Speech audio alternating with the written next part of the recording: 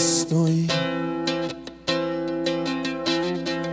entre el amor y el olvido, entre recuerdos y el frío.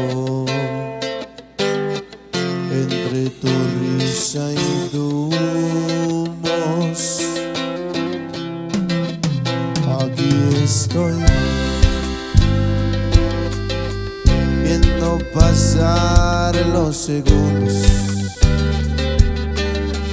viendo pasar los minutos.